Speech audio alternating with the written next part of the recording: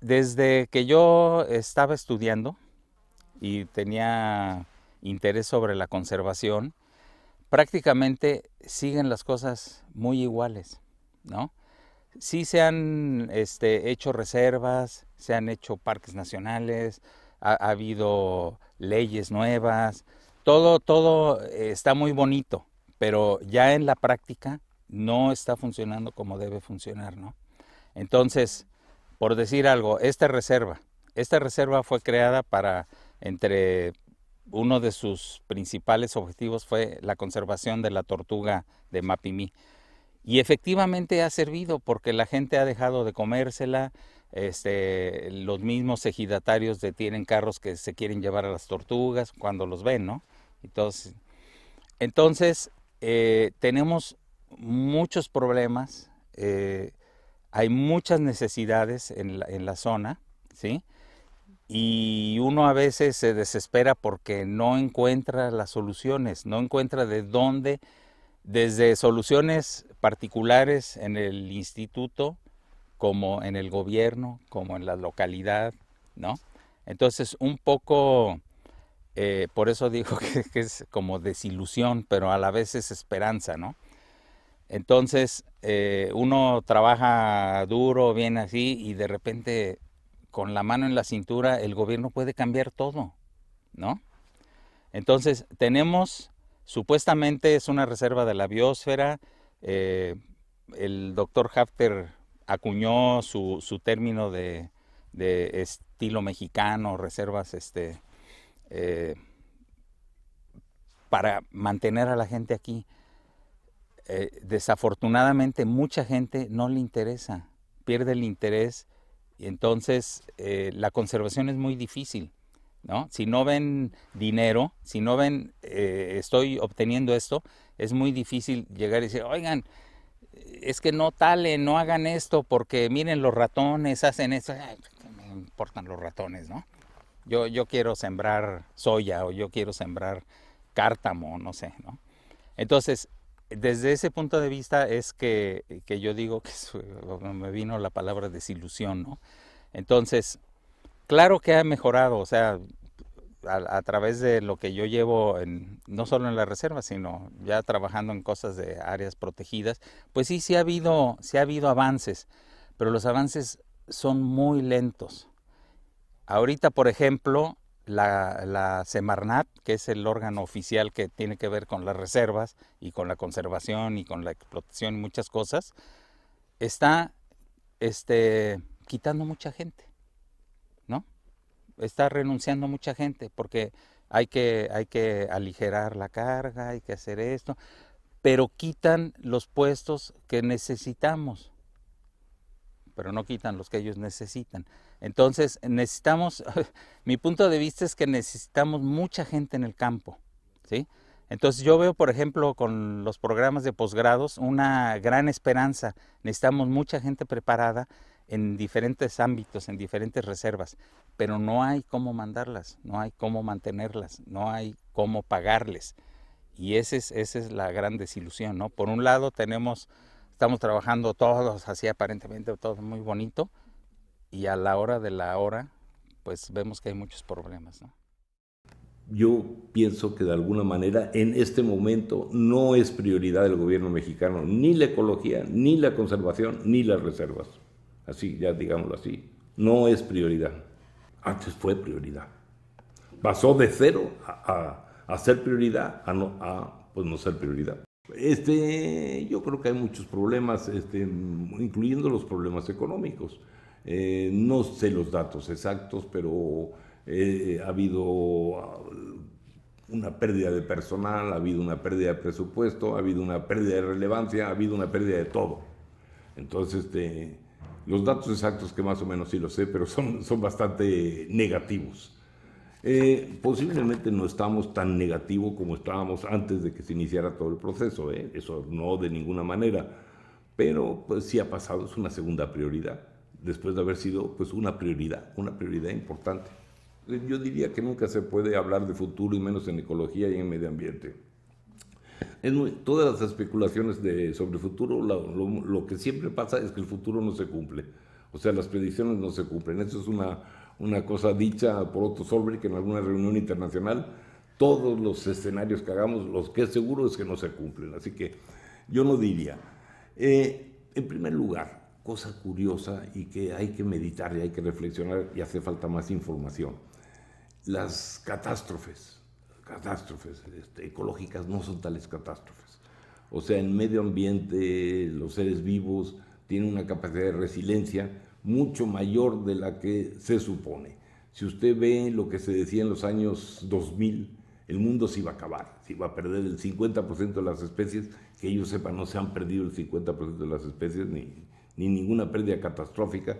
O sea, hay una capacidad de resistencia de la vida. Hay que no abusar de esa capacidad de resistencia, pero hay una capacidad de resistencia de la vida interesante.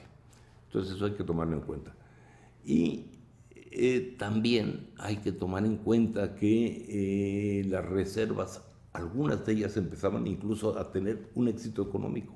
Éxito económico para la gente, para las poblaciones locales, no todas, pero las de algunas, por ejemplo, del litoral caribe, Sillancán, algunas empezaron a, a traer gente, a dar dinero. Esto no se acaba tan pronto, esto no se acaba tan pronto. Sin embargo, pues este, ustedes vienen de Mapimí, yo le podía contar lo que era Mapimí y ustedes cuéntenme lo que es Mapimí ahora y pues este, podemos establecer un cierto nexo.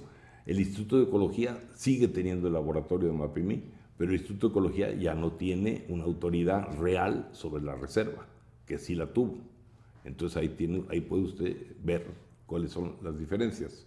Indudablemente el trabajo de la CONAM es indispensable y el trabajo de la CONAM, si la propia CONAM es golpeada, porque la propia CONAM pierde gente, eh, yo no criticaría tanto a la CONAM, eh, criticaría a las cosas que están por encima de la CONAM.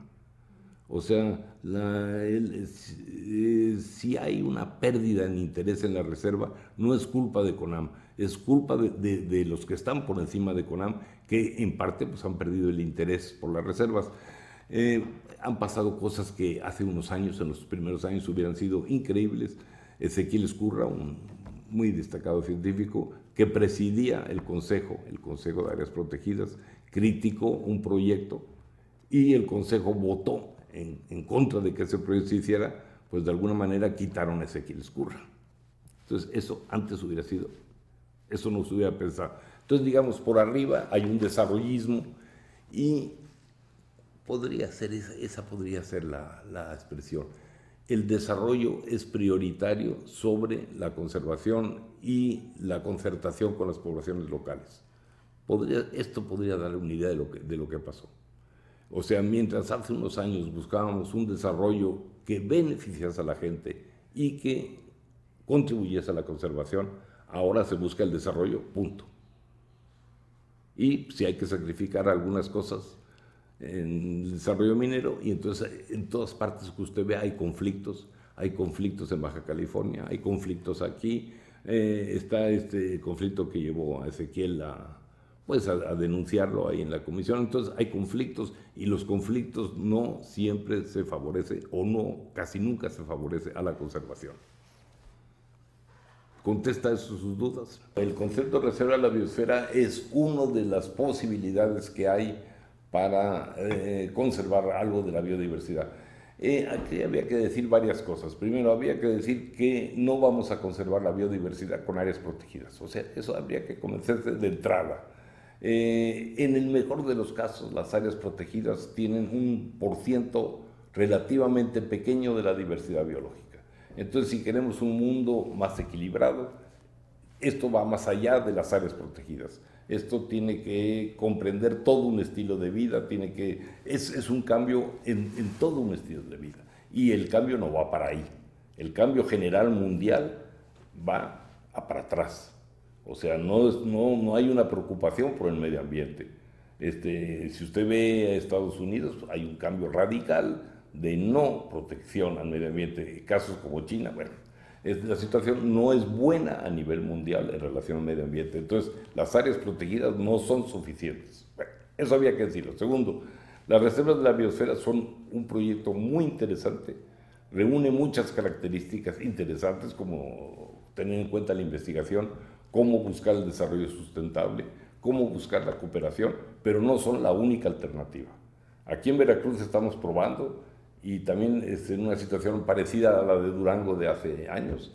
Este, salió el decreto, yo creo que sin saber muy bien lo que decretaban, pero salió el decreto de una reserva archipiélago. Esto es un, experimento. Este, queremos hacer un archipiélago de áreas protegidas, donde prácticamente incluimos todas las áreas que todavía conservan bosque en torno a Jalapa y queremos hacer una cosa flexible. Estamos en la pelea. Si la pelea sale, nuestra idea, o la mía, es que esto lo coordine la sociedad civil y las instituciones académicas, teniendo el gobierno del Estado pues la participación que debe tener, pero no el control. Vamos a ver si esto, si esto sale. Tenemos aquí cambio de gobierno, esto es un experimento, es un momento estupendo para ver qué pasa con el proyecto. El proyecto existe, el proyecto está marchando. Cuénteme dentro de cuatro o cinco meses qué pasa, no lo sé. Tan puede ser que, que se abandone el proyecto como puede ser que no, no lo sé. No lo sé qué piensa el, ni, no sé ni quién va a ser el nuevo gobernador, ni qué piensa el nuevo gobernador, pero indudablemente va a haber un cambio. Pero este es un experimento muy interesante, porque es un experimento más flexible y, y, que involucra más a la gente.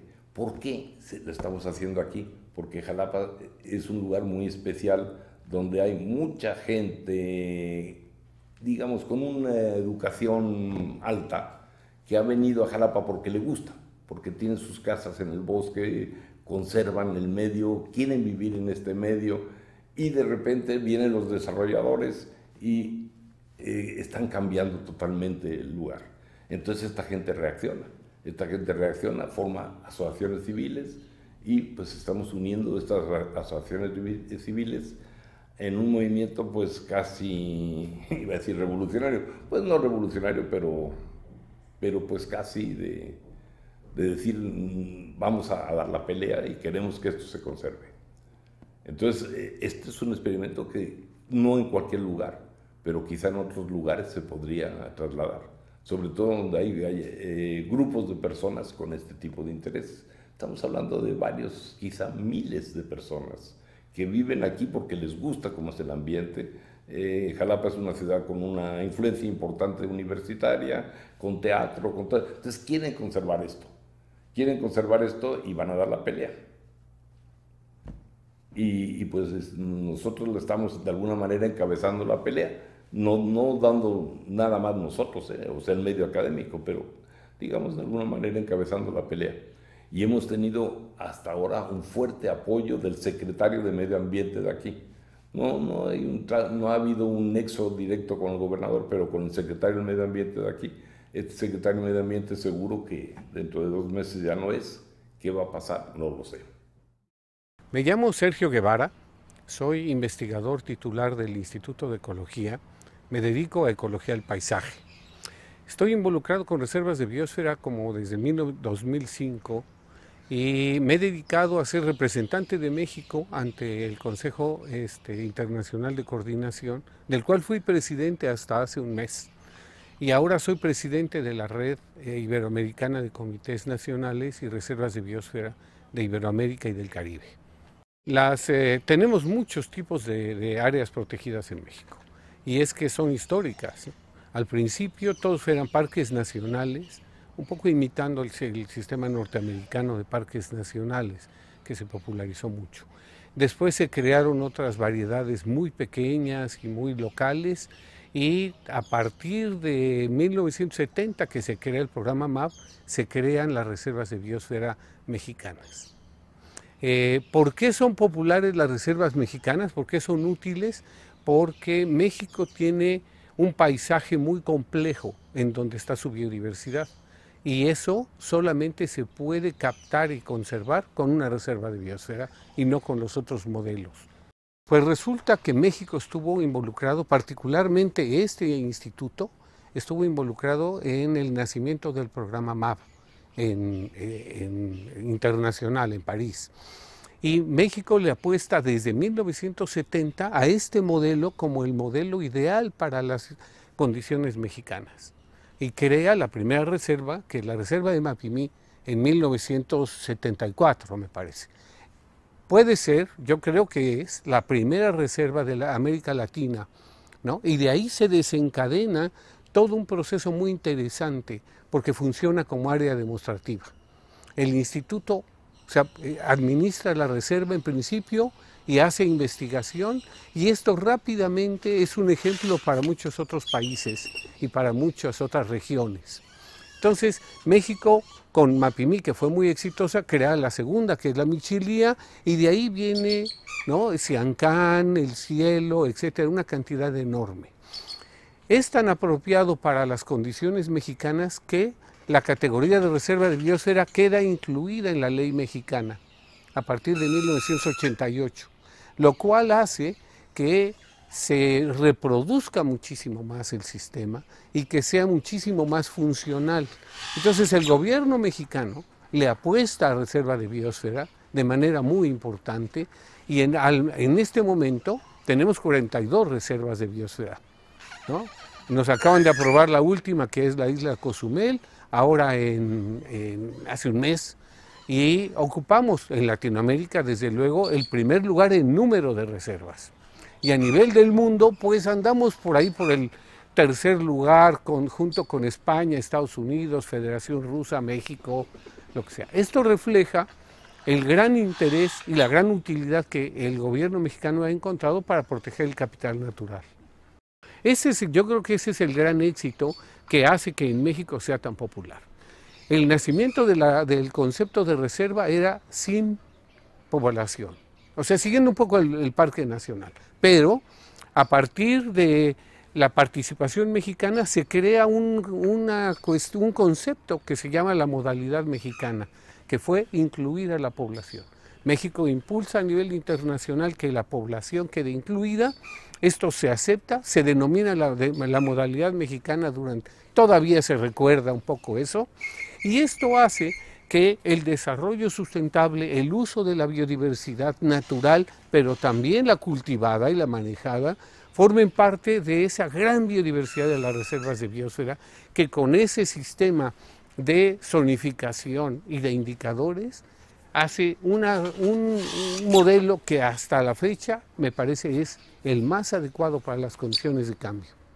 Pero este instituto nace con reservas de biosfera. En realidad, nace con un trabajo muy intenso en Mapimí y en la Michilía.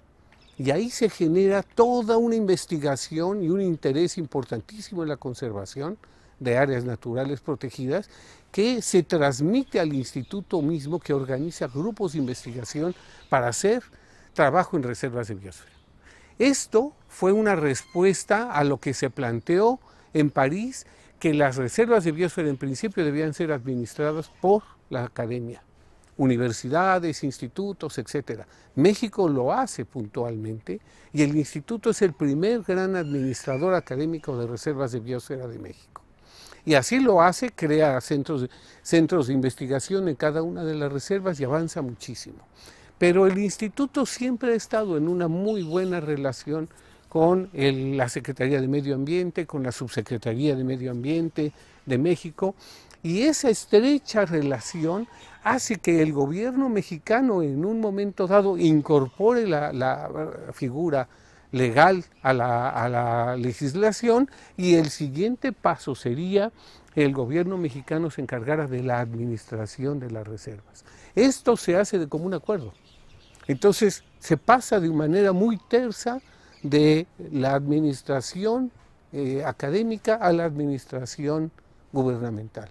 Ellos hacen la administración y durante mucho tiempo los institutos y los grupos de investigación asesoran y siguen haciendo investigación sobre las reservas de biosfera. Esto a la fecha ha llevado un poquitito a la separación de eh, la academia de las reservas de biosfera por otras razones, que no son razones administrativas ni razones gubernamentales.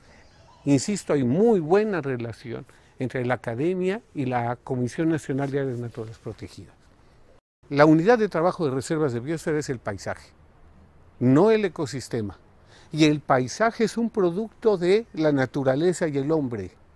¿no? Entonces, a medida que aumenta el cambio climático y los cambios económicos y sociales y hay más perturbación del sistema, la reserva de biosfera es cada vez más, útil, a diferencia de otras categorías de reservas de, áreas naturales protegidas como los parques nacionales o otro tipo de cosas. La reserva de biosfera hasta ahora es, creo yo, el modelo más adecuado para manejar el paisaje del mundo, particularmente de lugares como México y Mesoamérica y los Andes en, el sur del continente, pero en general es la más adecuada.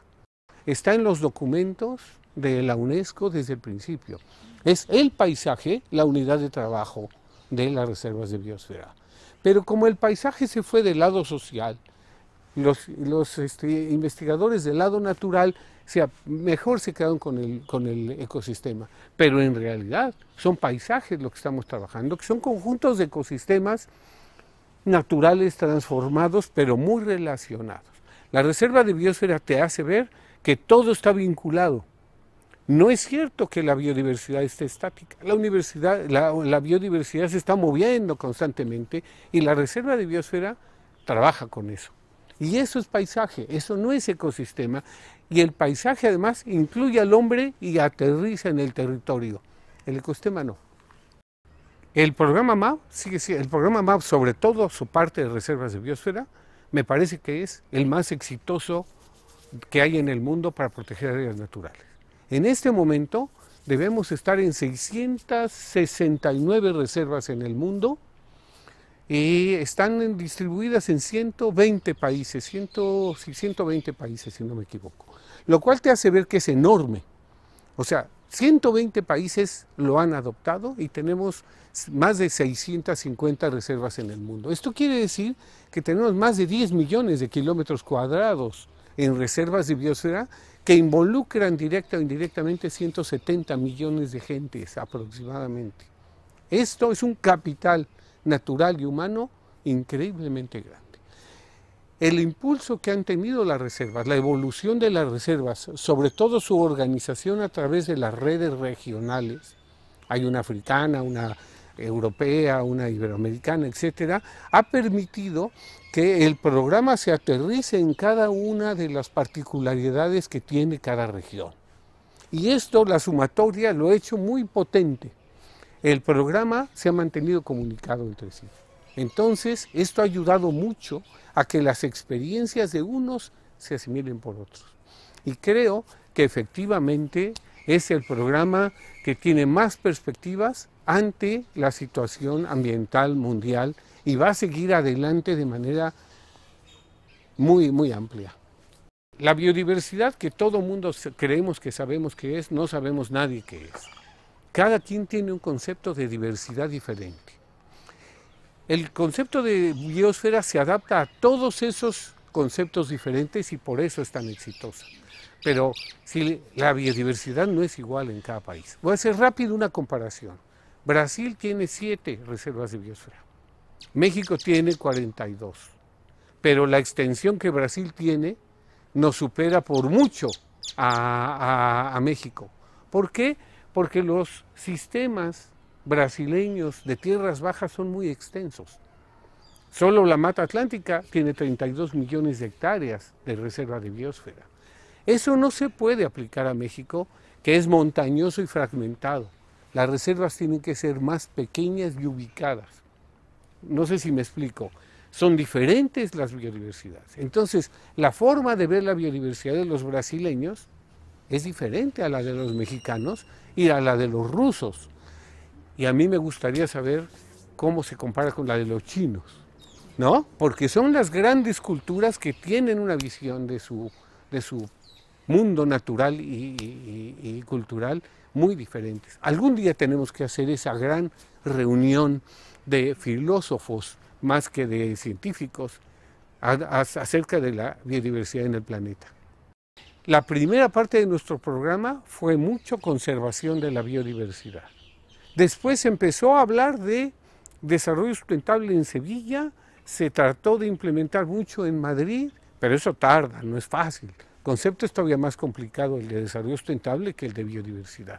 pero ahora hay mucho más acuerdo sobre tomar el desarrollo sustentable como el eje de trabajo alrededor del cual se necesita conservar, pero también manejar la biodiversidad. Entonces ya no estamos hablando tanto de conservación, manejo de la biodiversidad en función del desarrollo sustentable y bienestar de la población este, directa dentro de la reserva y en torno a la reserva. Ya se ven las reservas como cuarteles generales, cuarteles regionales para el desarrollo mucho más amplio de, los países y de las regiones. Eh, tuvimos el cuarto Congreso Mundial de Reservas de Biosfera en Lima, ahora en, marzo. Del 14 al 17 de marzo. Este congreso se hace cada 10 años. Este es el cuarto congreso. Primero se hizo en Minsk, el segundo en Sevilla, el tercero en Madrid y el cuarto, por primera vez fuera de Europa, en Lima. Tuvo un éxito fantástico. Todavía estamos viendo si fueron 1.200 o 1.500 asistentes a Lima, con una organización impecable, 30 talleres al mismo tiempo, ¿no? y se realizaron yo no sé cuántas plenarias. Hubo una empatía y una proposición, muy poca confrontación y discusión casi todos fueron complementaciones muy innovativas y se aprobó una cosa que es fantástica para los próximos 10 años, que es el Plan de Acción de Lima para las reservas de biosfera de todo el mundo. Esto nos ayuda mucho a ir cerrando las filas y ir compartiendo las cosas de manera más clara. También tenemos como consecuencia de esto la estrategia de MAP para los próximos 10 años. Entonces, en este momento llegamos con una estrategia con un plan, con un concurso enorme de países en un congreso muy exitoso en donde todo mundo estaba entusiasmado, contento, ¿no? Pero en el, en el sentido de las reservas, proponiendo, aprendiendo, dando generosamente muchas ideas y muchas cosas. Entonces fue un éxito total. Yo creo que fue un éxito total, como otros congresos, pero este más exitoso yo creo que otros, porque fue menos cuestionado interiormente. Entonces, en eso quedamos contentísimos. Y a continuación se hizo la, la 27 reunión del SIC, del Consejo Internacional de Coordinación, del programa MAV, y se aprobaron lo que aprobó el Congreso, porque así es el procedimiento. Entonces, todo fue miel sobre hojuelas, maravillosamente bien. Estamos muy contentos de... Fue un logro cerrar un... Se cierra un capítulo, o más bien se abre un capítulo nuevo. Una de las grandes cosas que logramos en el Congreso y en el Plan de Acción de Lima para los próximos 10 años es reconocer la importancia de las reservas de biosfera urbanas. O sea, reservas que integren lo urbano con lo natural y lo transformado de tal manera que realmente sea un solo paisaje en donde los habitantes, la gente que vive dentro, se haga cargo del manejo de los recursos y del bienestar. Las ciudades tienen un bienestar muy desigual y los entornos de las ciudades es desastroso. Eso sí fue un acuerdo de todo el Congreso, la importancia de atender al 60% de la población que vive en las ciudades y que tiene influencia en todo el territorio del regional y mundial. Esto es un movimiento mundial. Entonces se va a empezar a trabajar en México muy fuertemente porque ya las ciudades crecieron y llegaron a las reservas y vamos a tratar de unirlas. Y vamos a tratar de transformar todo esto en un nuevo concepto. En vez de llamarles áreas protegidas, queremos que ahora sea áreas protectoras. Que esto es darle totalmente la vuelta a la moneda, ¿no? Y realmente pensar en a quién beneficia la biodiversidad más que guardar la biodiversidad de manera abstracta. Entonces eso es realmente un gran desarrollo para los próximos años para reservas de la biosfera particularmente. En ese sentido, yo coordino una de las primeras, si no es que la primera, cátedra UNESCO de reservas de biosfera en ambiente urbano, que va a trabajar muy cercanamente con la red mexicana y con este, la red iberoamericana para empujar esto que ya tiene raíces muy fuertes en Argentina, en Brasil, en México, eh, en Europa, en España y algunos otros países asiáticos y africanos que están empezando a empujar en ese sentido, que va a ser complicado, pero ese, es, ese va a ser nuestra línea más importante al futuro.